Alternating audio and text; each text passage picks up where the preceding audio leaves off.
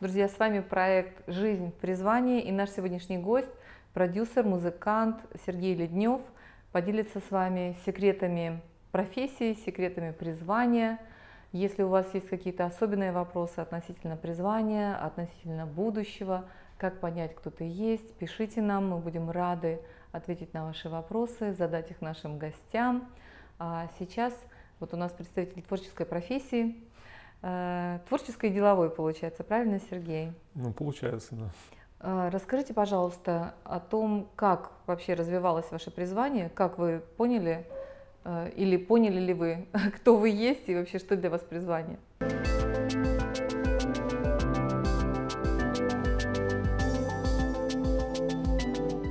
Сергей Леднев, музыкант, руководитель христианского продюсерского центра Music Service, гитарист известной христианской группы «Глаз вопиющего». Занимался музыкой с детства и всегда мечтал стать музыкантом пережил встречу с Христом в зрелом возрасте, после чего вся семья Сергея приняла покаяние и спасение. С 1997 года Сергей становится одним из музыкантов группы «Глаз вопиющего». Основной аудиторией группы стала молодежь и подростки Петербурга, для которых группа проводила антинаркотические евангелизационные концерты. В настоящее время Сергей активно служит и помогает молодым христианским исполнителям двигаться в своем призвании и прославлении Бога.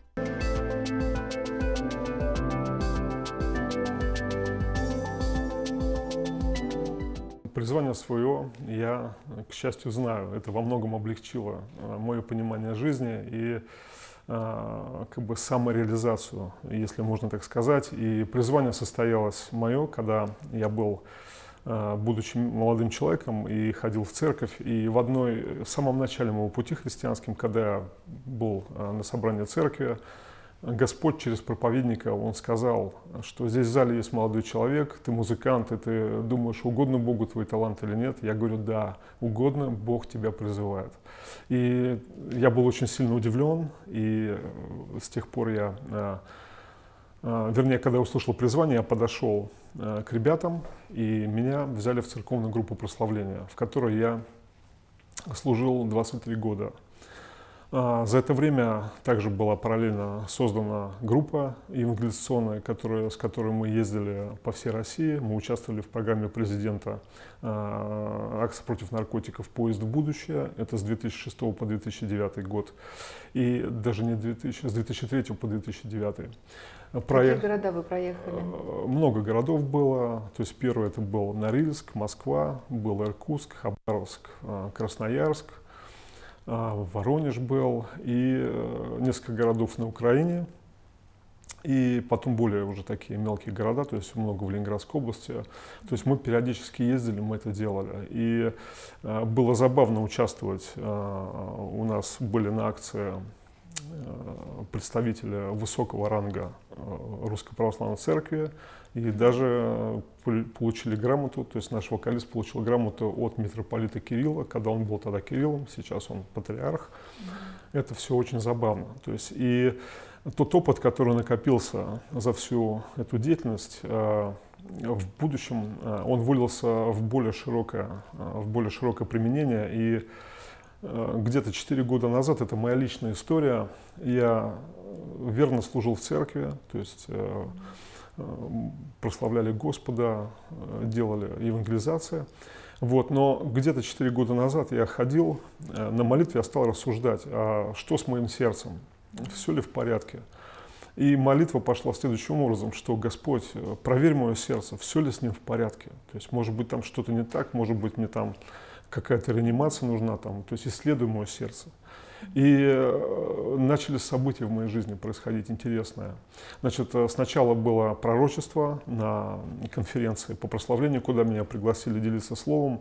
И одному брату в тот момент, когда я просто делился, там ничего особенного не было, но ему пришло конкретно, он говорит, я взял ручку и стал записывать. Он мне потом это дал, и я удивился.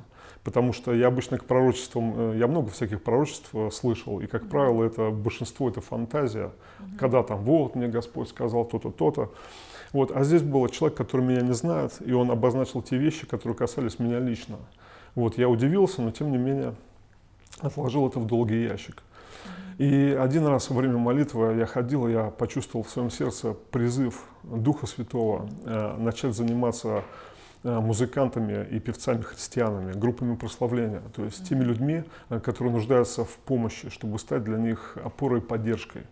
И я сначала, мне не хотелось это делать, потому что я имел очень много работы с, э, ну, так сказать, неквалифицированными музыкантами, и это труд, и труд, он как бы наносит иногда моральный ущерб. То есть, когда Тяжелый ты... труд, когда ты да, устаешь просто. Да, это не так, что ты, опа, давайте мы там сделаем. А, вот, но и я не знаю, там, кто поймет, кто нет, в тот момент, когда я почувствовал призыв, это как будто на меня как будто что-то положили такое легкое, но ждали моего ответа, как будто Господь, ну что ты будешь, будешь. И я такой стал думать, неужели моя жизнь будет, да, как бы она, потому что уже сложилась определенным образом, служение, то-то, ну как бы она идет, она устоялась. Я подумал, Господи, да, я, а, я сделаю. И у меня как раз было, как такая пробный заезд, то есть некоторые песни, которые э, пойти записать в студии, то есть что, что мы сделали. Вот. И как потом оказалось, э, это настолько было удивительно, Бог, э, я никакую рекламу не давал, то есть я ничего про себя никак не афишировал, и Бог стал приводить с разных частей России разных музыкантов, верующих. Даже с разных С разных, городов, да. То, да. то, что удивительно, да, то есть кто-то приезжал лично, кто-то через интернет, то есть э, онлайн. А вы сделали все-таки объявление какое-то, да?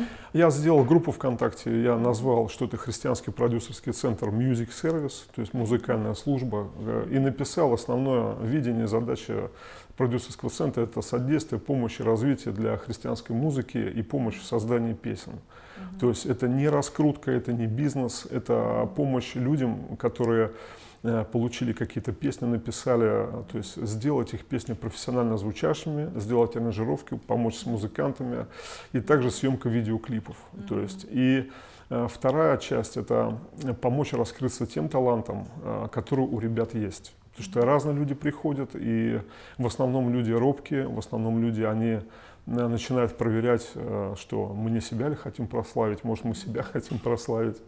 Вот. И когда общаешься с музыкантами, ты видишь, что Бог им дает. И э, основная задача – это как бы помочь им. То есть, начиная вот просто от каких-то разговоров, консультаций, может быть, до практических применений. То есть, это Э, звукозапись, это аранжировки, чтобы получить хорошо профессионально звучащую песню. И песню не просто вот песню там ля-ля-ля, там дождь за окном, мне все плохо, а люди, которые именно прославление, прославление это в первую очередь, вторая очередь это песни, которые носят пророческий характер. Пророчество это говорить в назидание, в увещание и в укрепление для церкви. Вот. И э, так как э, Библия нам говорит в Новом Завете через апостола Павла, что вразумляйте наставляйте друг, друг друга псалмами, словословиями и песнопениями духовными. И когда мы друг друга вразумляем и назидаем, и также Павел говорит, когда, мы, когда вы сходитесь вместе, если у кого из вас есть откровение, псалом, э, там еще там, пусть это будет для общего назидания. И я знаю, что песни, они очень хорошо работают. Когда мы стали заниматься профилактикой наркомании и были э, съемки в подвалах э, Ленинграда, тогда еще был, или не помню, там Петербург, то есть была проблема с наркотиками. Лежали в подвалах люди, они умирали. И Алексей туда с камерой спустился, чтобы снять там что-то. И там вот эти жуткие кадры, они уже давно облетели то есть все телеканалы, то есть это гниющие ноги, это последнее интервью наркоманов. И он, когда это все насмотрелся, он написал песню «Что будет с тобой, если завтра умрешь?». И песня была настолько ну, как бы примитивная. Душераздирающая, Нет, простая? Она, она душераздирающая в смысле э, послания. послания, но с точки зрения музыки это была очень э, простая, примитивная песня. И я когда работал над аранжировкой, я сидел дома, и я кое-как ее, ну как бы я ее сделал, но в конце я уперся в тупик, и я сижу, я не знаю, что там еще придумать можно. И вдруг внутри тот же самый голос, который меня призвал, он говорит, а помнишь, что вот в той там, в другой песне ты пытался вот использовать такие-то аккорды? Я такой, да, так попробуй здесь. И я плакал, то есть я, это, думаешь, надо же, ты делаешь такие вещи, казалось бы, и вдруг сам Бог, Он это видит, и Он сам ему Бог... Есть до этого ему, вот, дело, точно, да? ему есть дело. И это тебя просто, ты просто сердце тает, да, и ты делаешь песню. И так получился первый альбом, потом второй альбом, и некоторые песни тоже, я их знаю, я с ними работаю. То есть они мне там уже тысячу раз уже, то есть мы вживую. И иногда бывает репетируешь и начинаешь петь, и вдруг как будто бы это ты к своему сердцу обращаешься, и Бог, Он тоже с тобой через эти песни работает. Я такое много раз переживал, э, начиная с «Глазопьющего», теперь сейчас уже э, много других христианских исполнителей, та же история – Та же история, когда люди пишут песни, и есть потрясающие ребята с потрясающим материалом, и э, ребята абсолютно разные, то есть э, разного профессионального уровня. Но когда Бог приводит э, к тебе людей, и ты видишь, как будто Бог тебе дает на время какую-то драгоценность, какой-то дар, чтобы ты мог с этим поработать, и это очень драгоценно. И эти песни, а, которые прославляют имя Господа, они, во-первых, это жертва, чтобы мы прославляли Его имя, потом это общение, через песни можем общаться, потому что не секрет, а, мы когда посещаем церковь, мы можем слушать там полтора, полтора часа проповедь, и потом, когда мы выходим а, за стены церкви, проходит полчаса, я спрашиваю, о чем сегодня проповедь была? И человек такой, оп, было круто. Я говорю, а что круто? Да. Ну, то есть, о чем проповедь? Но, то есть, в 90% люди не вспоминают. А, вот. А песня, если она хорошо сделана, и а, она действительно пришла от Бога, и человек от чистого сердца это все сделал, если это оформлено в хорошую музыку, которая также была, туда вложена была душа, сердце, а иногда даже эта музыка приходит от духа, то такая песня, она может сопровождать человека ну, может быть, даже всю жизнь, если песня хорошая. Какой-то припев, а, а, то есть он может, у нас даже случай такой был, у нас есть песня, а, где такой припев монотонный и сто раз повторяется. Бог создал всех нас, чтобы вечно жить, Бог создал всех нас, чтобы любить. И у нас был смешной э, случай, мы были э, на акции против наркотиков, и у нас э, звукорежиссером был звукорежиссер, который работает с Андреем Макаревичем, Сергей Куслопу. Если он нас смотрит, Сергей, привет тебе большой и спасибо за то, что ты с нами был. И в первую акцию, когда он, э, он видел это все, он слышал, и потом ему что-то не понравилось, и он такой, ну что вы, решили весь мир спасти? Вы думаете, вы самый умный, такой разозлился, а сам ходит, провода сматывает. Бог создал всех нас, чтобы вечно жить. То есть сразу это попало, сработало. Туда, куда надо, в общем Да, да, да, то есть это сюда входит.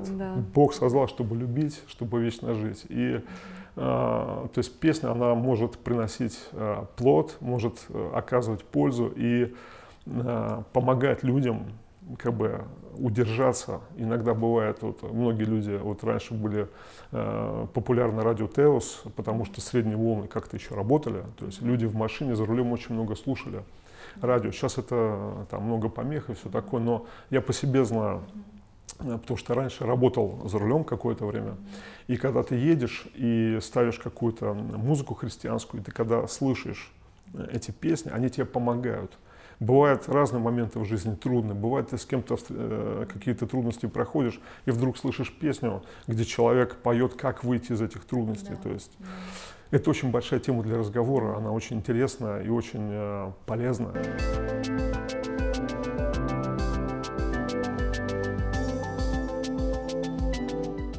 Скажите, пожалуйста, вот за эти четыре года вы сказали, что вы открыли э, и свое сердце, и свою жизнь, э, свои способности для того, чтобы другие музыканты приезжали с разных городов, получается, даже, возможно, из разных стран тоже к вам ребята будут приезжать и уже приезжают, возможно.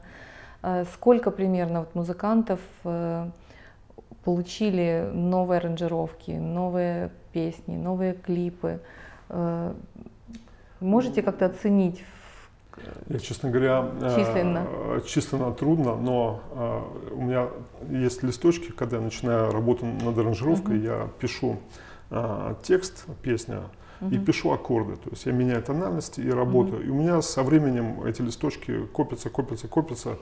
И я это не подсчитывал, но когда мне стало их некуда складывать, uh-huh. я думаю, надо выкинуть, и вдруг беру, и там вот такая вот том. Да, и я сначала выкинул, а потом думаю, не, я больше выкидывать не буду, пусть будут. И угу. на самом деле там, вот угу. я не считал, но это много. И э, сейчас... Это вот... несколько десятков. Это примерно, не знаю, сколько, 20, 40, э, может больше. Я 60. думаю, что это не 10, не 20. То есть есть э, интересно, есть группа приходит, то есть есть отдельные исполнители приходят, есть группа прославления. А, которая тоже приходит, и мы прославляем. И э, вот сейчас тоже интересная такая ситуация. А, сестра моя очень давняя, друг, соратник Наталья Шикунова. Мы вместе отслужили на одной сцене больше 17 лет вместе с ней. И Господь стал давать ей песни. То есть и она пришла, и она вот за год она два альбома сделала. То есть первый альбом там 12 или 13 песен, и второй альбом 13 песен. То есть это сделано только с ней, это вот практически за год. То есть мы начали прошлой весной, и сейчас вот еще, вот еще как бы весна вот скоро начнется. Вот, э, есть просто ребята, которые приходят одну-две песни делают. Есть э, ребята, которые приехали, записали диск. Э, есть вот Сергей и Павел Минаевы, то есть они из Чувашии. И у них очень такой интересный стиль, такой руссконародный. И э, у них, они когда начали это делать, они рассказывали, что у них там даже один дедушка исцелился. То есть они, и в чем э, юмор, то, что песни, они действительно, сейчас модно американское прославление, модно Cheese Culture, там, на Shakers, э, Betel, то есть это, это очень популярно, модно. И русские э, ребята, то есть они пытаются подражать, э, подражать, э, как там в Америке. Вот я очень э, хорошо отношусь ко всем, но я считаю, что у нас есть э, не то что корни, но есть особенность территориальная. Ну, культура, да, тоже, культура, то есть у нас в генах что-то есть, э, то, что откликается только вот. Э, и вот когда эти Ирина и Павел, они заиграли, то есть они вот эти песни, там реально русские народные, но они в современном танцевальном таком. И дедушка, он там 10 лет спал там в церкви, значит, и у него какие-то проблемы со здоровьем были, а тут он, мы говорим, смотрим, он танцует. А жил? Он не только ожил, у него, у него там что-то перестало болеть, он реально человек получил исцеление. То есть вот таких вот э, ребят Господь приводит. Потом сейчас очень замечательная группа э, записывается, они уже второй год, правда, то есть э, девочки, им не трудно, то есть, но они делают все, что они могут в их силах. Это группа Виктория, это Надя Стороженко, она сейчас поменяла фамилию, вышла замуж, Тамара Ремизова. У них потрясающая песня, евангелизационная, и песни, которые э, наполнены э, переживаниями личной жизни. Там вот одна песня есть, что Надя, она написала, у нее подруга умерла, молодая, и она спрашивает Бога, почему ты ее забрал? А Бог ей отвечает, почему он ее забрал. То есть и такая песня серьезная. Это очень, да, такая. Да, и ты когда слушаешь, и ты не просто эта песня, а у тебя там внутри все переворачивается. То есть, и ты начинаешь размышлять, что жизнь, она э, короткая. И когда что-то может пойти не так, то есть может Бог забирает человека, чтобы человек не потерял спасение, но чтобы его душа, чтобы его дух был спасен. И разные ситуации. И вот девочки пишут, точка опоры группа, ребята молодцы, они ездят по репцентрам, а, тоже была у нас э, год или полтора назад большая сессия звукозаписи. Мы арендовали э, лучшую студию в Питере, это Добролет, записали живой полностью. И сейчас ребята делают новые песни.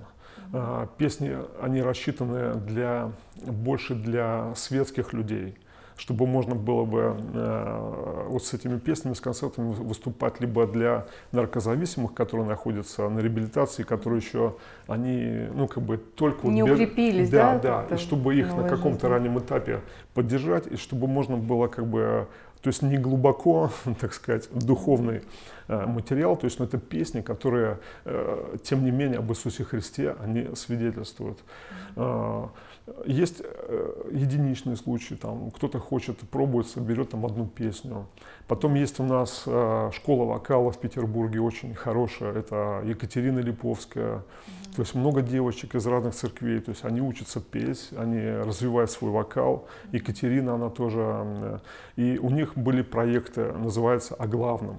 А главным было там уже три десятка песен. Это каверы, акустические версии на самые хиты э, мирового масштаба. То есть это знаменитые песни. То есть много. Много идей, много проектов, да, много исполнителей. Да. Интересно очень, действительно. Я, честно, я удивляюсь. Я думаю, ну надо же. Ну... Затронули такую, казалось бы, сферу, и вдруг да. взрыв. Просто да, взрыв. Да.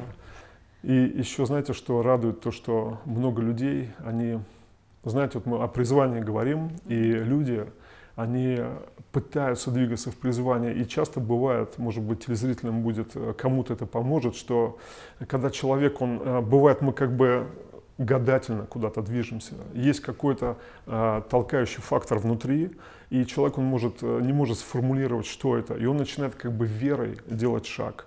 И когда ты в таком состоянии находишься, очень часто приходят мысли, а правильно ли я иду, а правильно ли то, может быть, это не от Бога там и все такое. И э, нужно делать как раз э, шаг веры, то есть чтобы двигаться, и ты тогда увидишь, от Бога это или нет. Угу. То есть э, нужно не бояться, нужно вставать и идти что-то делать. Знаете, я вот к концу нашей программы хотела вам сказать, я, я на самом деле очень тоже рада этому разговору. Я пересматривала недавно пророчество, которое было высказано в адрес России в адрес христиан России. Оно было сказано в конце 2017 года. Для меня оно актуализировалось, вот именно я стала действовать в этом, в этом году. Э, и там говорилось о том, от двух разных пророков, которые не пересекались, они не знали, что они говорят нам с разницей в несколько часов одно и то же послание о том, что в России будет пробуждение со стороны, в первую очередь, творческих людей – что Бог будет касаться, говорить, и люди начнут и изменяться, и дальше передавать вот эту весть о, о любви, о спасении, о восстановлении именно творческих профессий. Это будет актерская среда, это будут художники, это будут музыканты, это будут э, актеры балета, артисты и так далее. То есть вот творческие профессии, творческая среда, это самая такая вот почва и, и тот фокус, который самый отзывчивый, самый горячий, самый, возможно, даже влиятельный, действительно, не зря часть нашего разговора была посвящена вашему впечатлению о том, насколько глубоко, насколько сильно работает в человеке послание, музыкальное послание, оформленное вот с текстом, с, с содержанием, вот в этот ритмический корпус, взаимодействуя с нашей душой, насколько это сильно срабатывает и в критические моменты, и может сопровождать нас по жизни, и о том, что э, когда вы двинулись в этом призвании, вы почувствовали просто э, сильное развитие, рост и действительно сверхъестественную поддержку того, что люди узнают, люди откликаются, движутся из разных концов. И нашей огромной страны с 11-часовыми поясами, и я уверена, что будут и действительно из других стран также приезжать, и будут открываться еще продюсерские центры, дай бог.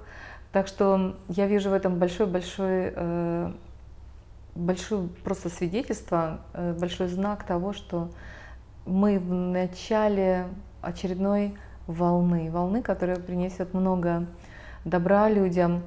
Я не могу обойти стороной такой момент, как э, насколько дорого э, работать с вашим центром, как музыкантам, которые действительно еще, может быть, находятся в процессе становления, взаимодействовать с вами, как вы смотрите на, это, на эту работу, потому что это часть, э, это и служение, и это работа. Да, то есть это очень такой э, важный и правильный вопрос, и, к сожалению, в нашей стране, особенно в христианстве, то есть mm-hmm. есть Представление а, такое. Да, то есть неправильное представление, есть проблемы, и это связано с финансами. О финансах mm-hmm. можно говорить много. То есть наша страна, она, а, к сожалению, уступает mm-hmm. другим странам по техническому оснащению, по оборудованию, по студиям звукозаписи, то есть вообще во всем. Когда посмотришь, как там, а, допустим, те же самые студенты, а, то есть они с детства, они буквально со школ, они уже а, имеют опыт работы с профессиональными программами. Там ежегодно проходят несколько раз выставки, которые посвящены техническому оснащению, и туда ездят все, кто имеет какое-то отношение, то есть они ищут, э, едут и покупают какие-то новинки, то есть и узнают о новых возможностях технических. У нас, к сожалению, как бы квалификация низко. То есть, если говорить о церквях, это еще ниже. Да? То есть, э, но тем не менее, значит, э, мне понравилось, я смотрел давно передачу, в Египте, в Египте там что-то про рыбалку было, и был магазин, и висела рыба, значит, и, и там был такой вопрос, хочешь рыбы, значит, э, нужны деньги, нужны деньги, деньги дает Бог. И я как бы думаю, надо же как правильно, то есть, что в принципе, если ты делаешь дело, то, то есть Бог, Он нам дает обеспечение. И когда э, в Библии написано, что, например, песня прославления – это духовная жертва. То есть мы, когда поем песни Богу, мы прославляем Его имя, мы приносим духовную жертву вот этим самым. Вот. А когда ребята приходят, э, это тоже жертва, не только духовная, но и финансовая. То есть, потому что они платят за работу, которую э, я делаю. То есть, но это недорого. То есть я стараюсь это делать, чтобы людям это было доступно, и цены, они на порядок ниже. Вот, мне, правда, приходится очень много времени из-за этого проводить, ну, как бы с этим, но я не жалуюсь, и для меня честь, на самом деле, чтобы я мог помогать этим людям и мог э, делать все, что я могу, что в моих силах, чтобы эти песни, то, что Бог им дал, чтобы это можно было отдать большому количеству людей через средства массовой информации, через э, любыми способами, то чтобы это... И знаете, что меня очень сильно впечатлило? Я, иногда мы живем и думаем, что э, почему Бог это сделал? Видать, ему нужно это, понимаете? Значит, есть э, нужда, есть потребность, есть какой-то ресурс у нас в России. Э, и э, люди, которые пи- такой, да. пишут, да, то есть они прославляют Бога, они говорят о Боге, об Иисусе Христе через песни, через музыку, через кто-то живое выступление по-разному. То есть если видеоклип еще получается сделать, это просто шикарно. И Богу есть до этого дела. И как показало уже плоды, как уже есть, это не промахнулись. То есть это не было, слава богу, ошибкой. И останавливаться мы не планируем. Большое вам спасибо.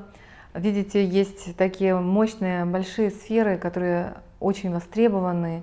И я надеюсь, что э, пример Сергея, который э, открыто и со всей ответственностью, со всеми силами, посвящает себя на, на служение, на работу, э, понимает высокий профессиональный уровень и требования, которые заложены э, к профессии и к тому, чтобы людям было действительно приятно и приемлемо э, творчество разных музыкантов, быть сейчас таким открывателем талантом, шлифовщиком бриллиантов – поэтому, дорогие, вы можете быть частью, большой частью благословения людей, которые вокруг вас, которых вы даже, может быть, не знаете. Мы приглашаем вас принимать вызов, становиться профессионалом, узнавать свое призвание и действовать в этом эффективно. Эта программа, я надеюсь, послужит тому, что вы переживете свое собственное призвание, вы определитесь с тем, что вы нужны, Пусть пример Сергея, его служение, его открытость, посвящение, профессионализм вдохновят вас достигать высот в той сфере, где вы работаете, где вы служите. И знаете, что Бог всегда с вами, Ему есть до вас дело, и вы достигнете многих. thank you